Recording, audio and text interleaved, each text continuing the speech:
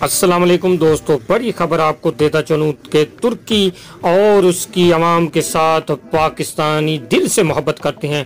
تو ترک کے حوالے سے جو بھی خبر آتی ہے، پاکستان کے ناظرین اس کو دلچسپی سے سنتے ہیں۔ تو آج کی اس خبر میں میں آپ کو بتاؤں گا کہ ترک فوج کا عراق میں پندرہ کلومیٹر علاقے پر قبضہ، شمالی عراق میں کرد دیہات پر وقفے وقفے سے گولہ باری جاری۔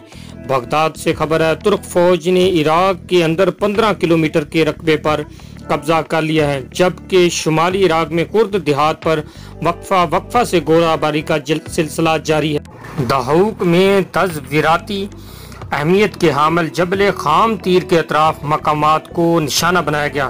غصے میں بکری بغداد حکومت نے ترکی کے سفیر کو دوبارہ طلب کر کے احتجاجی یادداشت حوالے کی۔ پارلیمنٹ میں سکورٹی اور دفاع کی کمیٹی کے سربراہ محمد رضا آل حیدر نے ترکی کی عسکری مداخلت پر ناراضگی اور غصے کا اظہار کیا اور کہا کہ ترکی سابقہ سکورٹی سمجھوتے کا سہالہ دے رہا ہے، جس میں سرحدی پٹی کے اندر سات کلومیٹر تک داخلے کی اجازت طے پائی تھی۔ ترک فوج کا عراق میں پندرہ کلومیٹر علاقے پر قبضہ، بڑی خبر آپ نے سنی ہے۔